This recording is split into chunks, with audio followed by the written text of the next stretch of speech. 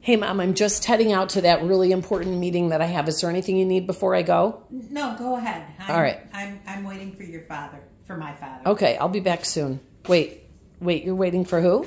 My father. Your father? Yeah. You're waiting for your dad. Yeah. Okay, well let me let me check and see where he is, okay? Okay. I'll let me check and find out where he is. Okay.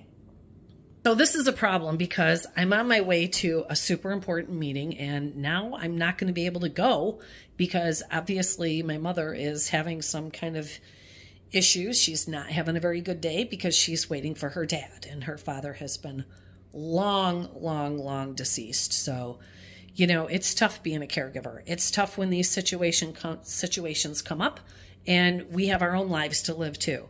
So, if you would like to get a lot of your life back, first of all, follow me and then book a call on my website and take the Certified Master Dementia Strategist course. It's only four days and we can help you with all of these situations.